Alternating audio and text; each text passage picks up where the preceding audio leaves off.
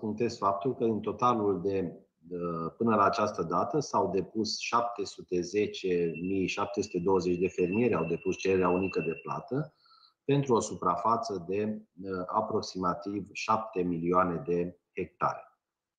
Cum campania de depunere a cererilor fără penalități se apropie în câteva zile, respectiv în data de 17 mai, data de 15 mai fiind într-o zi nelucrătoare sâmbătă, se prelungește cu încă o zi campania de depunere a cererilor fără penalități, respectiv 17 mai, astfel că încurajez toți fermierii care nu au depus încă cererea de plată să facă un efort și să o depună în termen pentru a evita aplicarea de penalități, iar dacă întâmpină dificultăți, să se adreseze cu toată încrederea funcționarilor din cadrul APIA, atât la nivelul centrelor locale, cât și la nivelul celor 42 de centre județene sau, de ce nu, la nivelul aparatului central.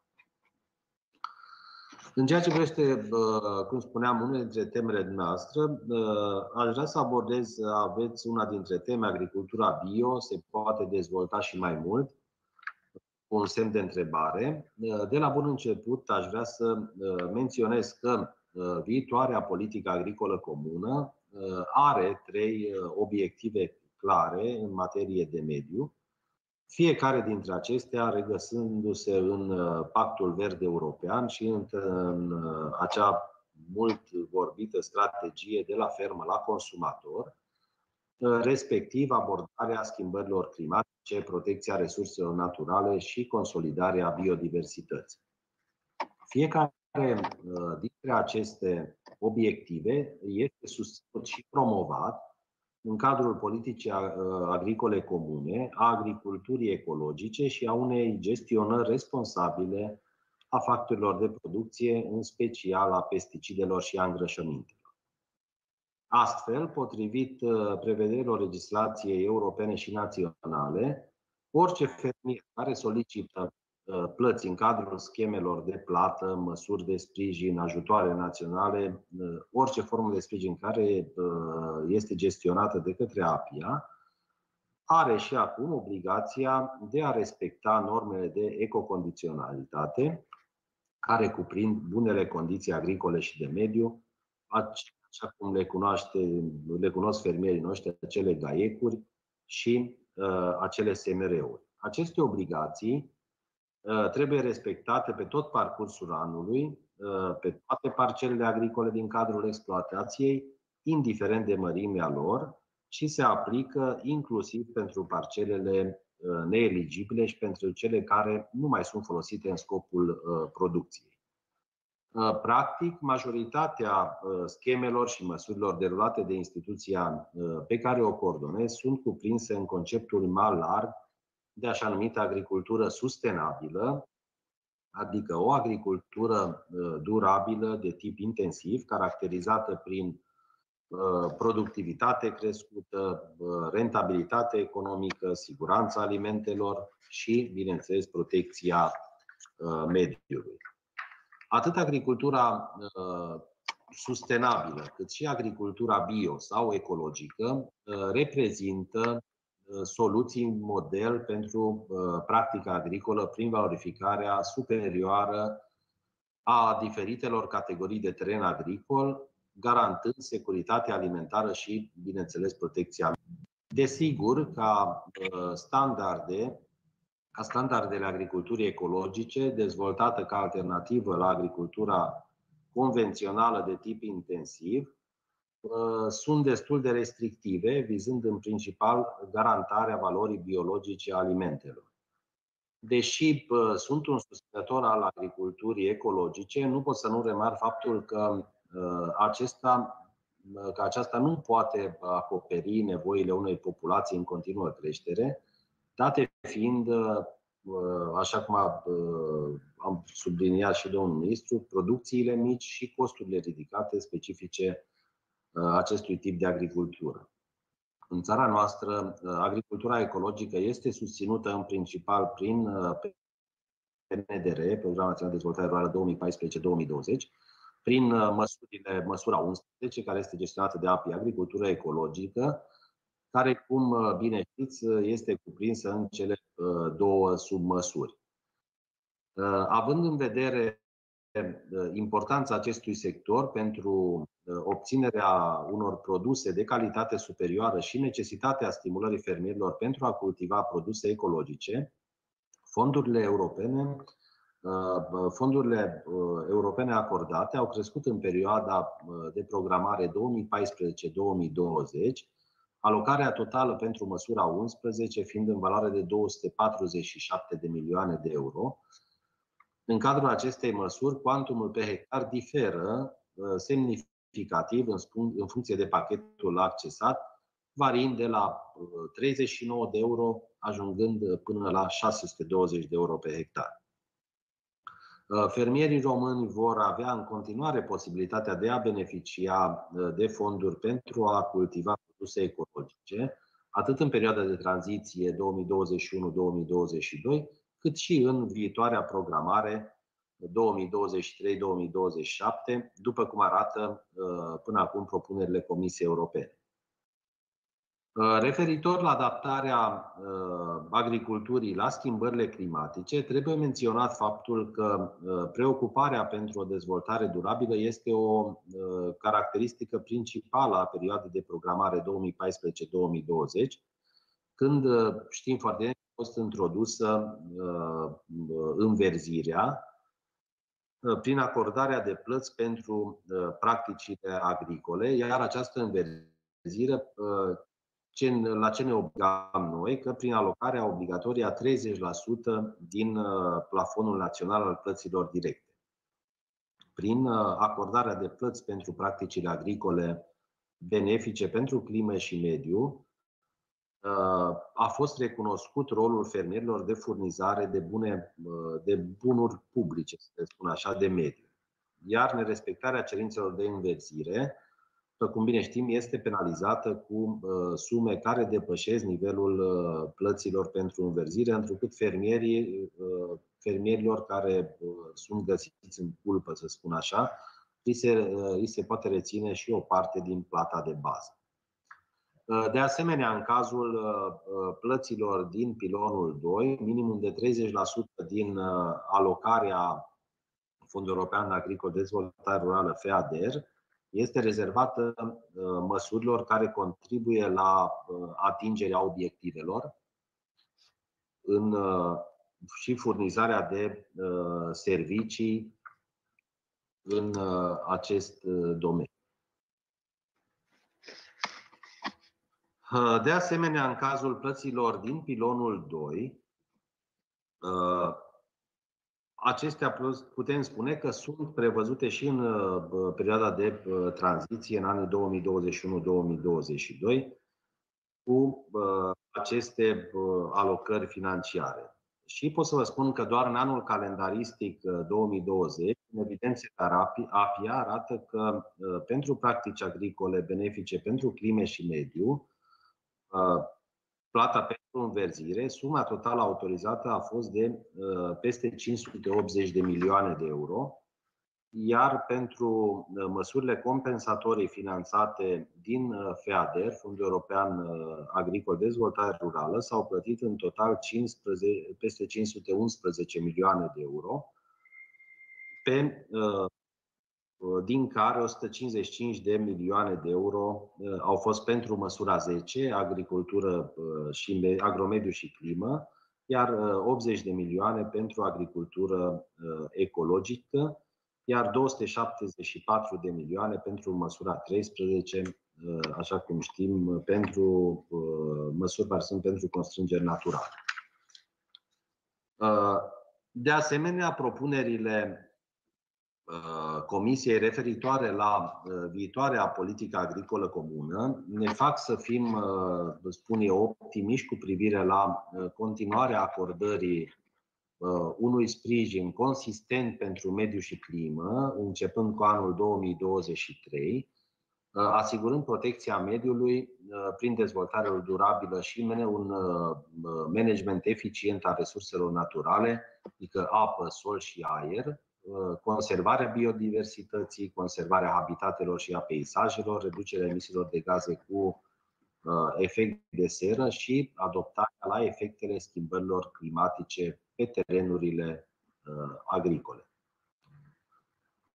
Ne propunem astfel să contribuim în continuare la susținerea unei agriculturi durabile și, desigur, agriculturii ecologice, profitând de avantajul imens de care țara noastră beneficiază, comparativ cu alte țări, atât datorită nivelului de cerere, cât și uh, datorită condițiilor climatice temperate pe tot parcursul uh, anului. În ceea ce privește uh, o altă temă, soluțiile de finanțare în agricultură, este știu faptul că politica agricolă comună este una dintre cele mai finanțate politici la nivelul Uniunii Europene în condițiile în care agricultura este un domeniu vital ce asigură sursa de hrană uh, care este indispensabilă existenței și care deține o pondere semnificativă în ansamblul economiilor naționale. Având în vedere uh, caracterul permanent al nevoii de asigurare a necesarului de hrană, prioritizarea preocupărilor europene și uh, naționale pentru sectorul agricol este pe deplin justificată. Uh, la nivelul instituției noastre, folosim ca resurse de finanțare uh, a sectorului agricol atât uh, fondurile europene, FEGA și FEADER, cât și bugetul național. Instrumentele de finanțare au fost diversificate în timp, acest lucru fiind un avantaj pentru îmbunătățirea performanțelor fermierilor români și dezvoltarea sectorului agricol românesc. Dacă în anul 2007 uh, API a uh, implementa aproximativ, uh, să spun, 10 scheme de sprijin, așa cum am spus în prezent, gestionăm peste 100 de scheme de sprijin, măsuri și submăsuri. Astfel, fermierii români au la dispoziție o multitudine de posibilități de finanțare și pot opta în funcție de zona geografică în care își desfășoară activitatea agricolă sau din propriile criterii și convingeri, să spun așa, în ceea ce privește o activitate agricolă sau uh, alta. Și în încheiere aș vrea să uh, doar să spun câteva cuvinte despre noua politică agricolă comună din perspectiva uh, APIA. Uh, pachetul de reformă prin politica agricolă comună uh, a fost lansat de către Comisia Europeană în uh, luna iunie 2018 și a obiectiv, uh, obiectul unor ample dezbateri în cadrul Consiliului Uniunii Europene și în cadrul Parlamentului European în calitate de uh, colegislatori. Modelul uh, propus de către Comisia Europeană pentru perioada de programare inițial 2021-2027 este unul nou care marchează trecerea de la modelul bazat pe conformitate la modelul bazat pe performanță. Acest lucru presupune uh, faptul că acordarea fondurilor europene către statele membre nu se va mai realiza pe baza conformității cu niște reguli uh, detaliate stabilite la nivel european, ci pe baza performanțelor realizate de către uh, fiecare stat membru în conformitate cu așa numitul Plan Național Strategic, care este eliberat de statul membru și este aprobat de către Comisia Europeană. Astfel că uh, Planul Național Strategic va cuprinde toate tipurile de subvenții care sunt stabilite de către statul membru și finanțate uh, din cele două fonduri, uh, FEGA și FEADR, care sunt condițiile de acordare, fondurile alocate și indicatorii de monitorizare, în mod similar PNDR-ului, Programul Național de Dezvoltare Rurală actual. Astfel se asigură uh, o coerență a politicilor atât în cadrul viitoarei politici agricole, cât uh, și cu alte politici uh, ale Uniunii Europene. Discuțiile privind adaptarea celor trei regulamente incluse în pachetul de reformă sunt într-un stadiu avansat, dar indiferent de forma compromisului referitor la noua politică agricolă comună, la care se va ajunge între Consiliu, Comisie și Parlament, există câteva direcții clare care trebuie uh, urmate de către fiecare stat membru. Principalul uh, trend în evoluția agriculturii este uh, favorizarea agriculturii verzi, prin uh, implementarea așa numitelor ecoscheme, pentru care statul, statele membre ar trebui să alocăm cel puțin 20% din pachetul pentru plăți directe. Uh, ecoschemele pot consta în plantarea de uh, perdele forestiere, agrosilvicultură, o mai mare rotație a culturilor, digitalizarea și agricultura de precizie, sau altele. Aceste uh, scheme trebuie decise de stat, iar fermierul își va putea alege ce îi se uh, potrivește mai bine. În uh, acest lucru presupune uh, și o schimbare, să spun așa, a paradigmei de gândire și a modalității de a face agricultură pentru fermierul român și presupune uh, implicarea autorităților, autorităților prin campanii de informare și conștientizare a fermierilor, și categoric uh, o întărire a serviciilor de consultanță agricolă. De asemenea, uh, pachetul de reformă propus mai are o serie de implicații asupra administrațiilor statelor membre, determinate de uh, subsidiaritatea crescută, care poate încărca mult administrațiile statelor membre și așa cum au semnalat principalii actori din domeniu, există riscul de renaționalizare a politicii agricole.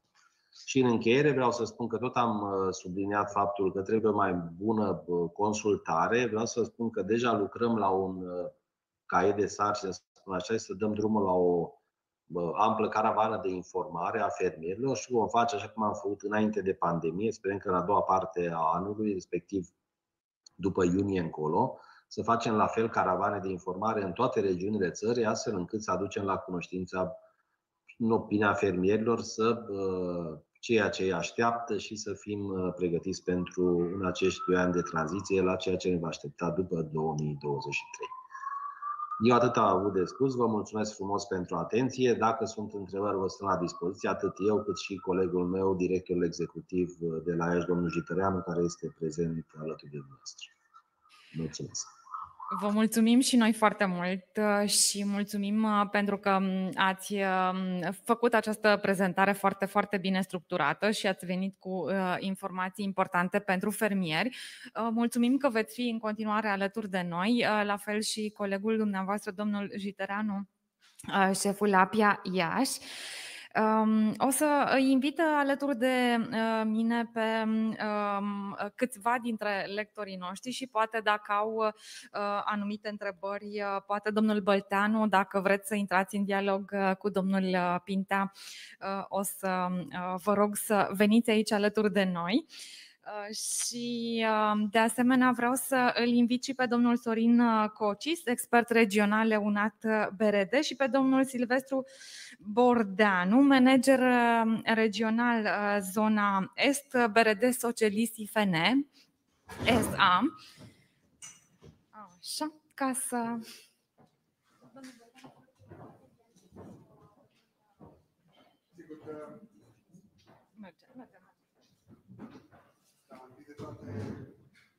merge?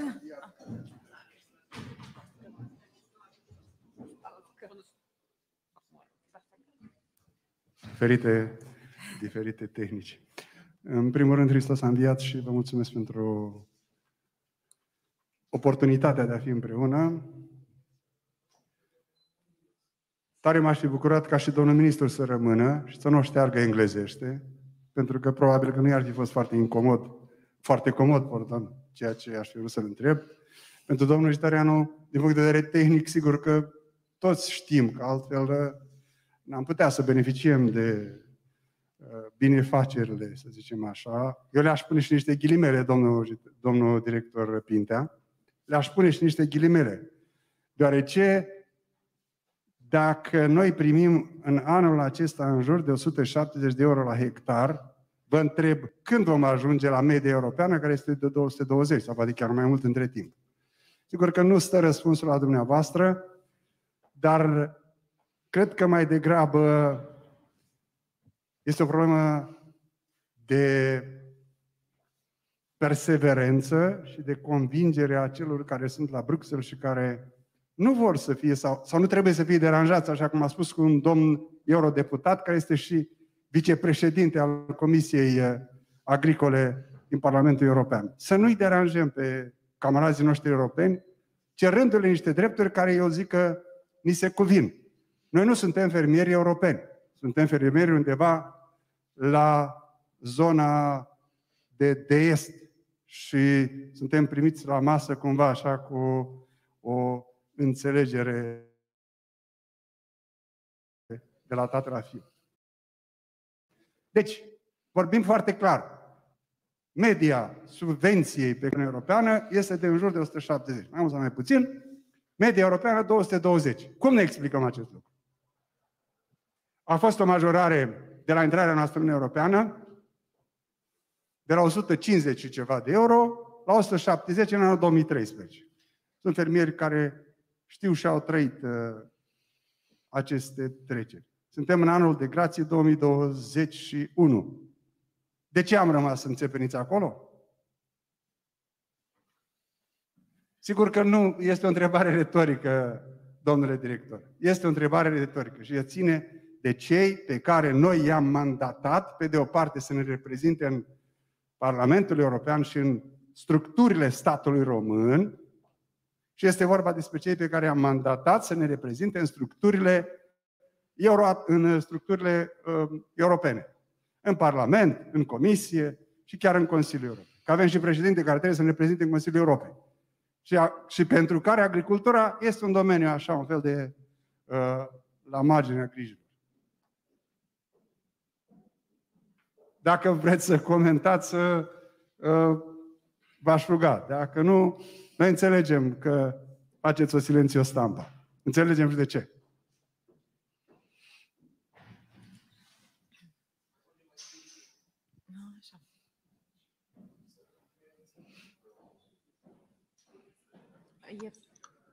Așa este, așa cum...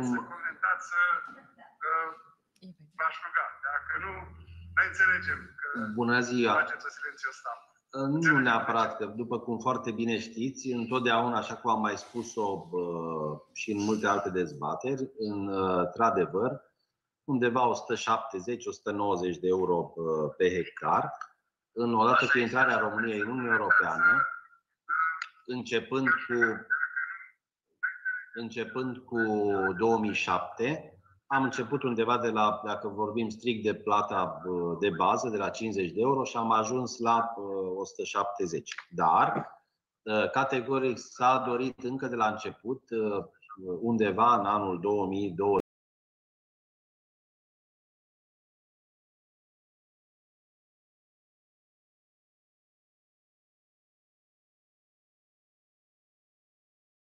neapărat, după cum foarte bine știți, întotdeauna, așa cum am mai spus-o și în multe alte dezbateri, într-adevăr, undeva 170-190 de euro pe hectar, în odată cu intrarea României în Uniunea Europeană, începând cu, începând cu 2007, am început undeva de la, dacă vorbim strict de plata de bază, de la 50 de euro și am ajuns la 170. Dar, categoric, s-a dorit încă de la început, undeva în anul 2020,